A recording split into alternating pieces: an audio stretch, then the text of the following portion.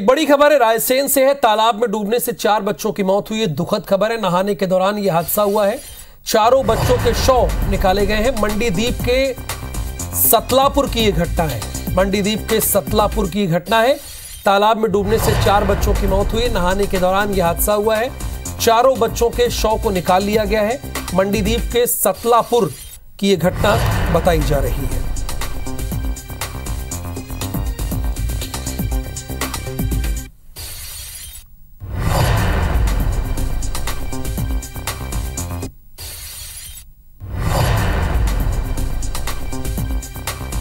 तालाब में डूबने से चार बच्चों की मौत हुई है। रायसेन से इस वक्त की बड़ी खबर है।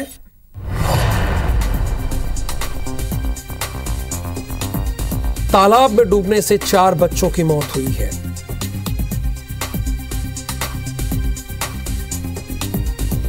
हालाँकि चारों बच्चों के शव निकाल लिए गए। नहाने के दौरान यह हादसा हुआ था। ये बच्चे तालाब में नहाने गए थे। इसी दौरान यह हादसा हुआ है। हालाँकि चारों के शव निकाल लिए गए हैं।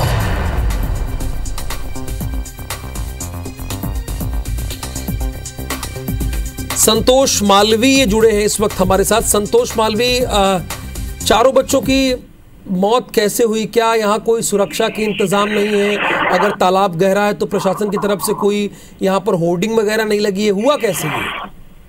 जी देखिए, तालाब जो है, वहाँ पर होर्डिंग वगैरह तो कुछ नहीं लगे हैं। कल जो चार बच्चे हैं, वो बगैर घर में अपने बताए परिजनों को बताए और वो वहाँ पे गए थे नहाने के लिए और ये हादसा हो गया। क्योंकि कल रिज़ल्ट का दिन था तो सारे लोग रिज़ल्ट की उत्सुकता में लगे हुए थे, परिजन में उसमें लगे हुए थे। जब शाम को वहाँ तालाब से कोई एक बंदा आ रहा था, उसने जब बताया कि एक बच्चे की लाश तालाब में तैर रही है, तब पुलिस और परिजन फिर उस दिशा में गए। तब मालूम चला कि चारों बच्चे इसी में तालाब में ही डूबे हैं। दो बच्चों को कल रात में निकाल लिया गया था, दो को आज सुबह निकाला गया है।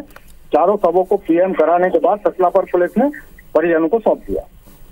शुक्रिया इस जानकारी के लिए, संतोष आपका। नहाने के दौरान ये हादसा हुआ, ये तस्वीरें भी हम वहाँ की दिखा रहे हैं। स्पॉट की तस्वीरें हैं। मंडी द्वीप के सतलापुर की ये घटना है।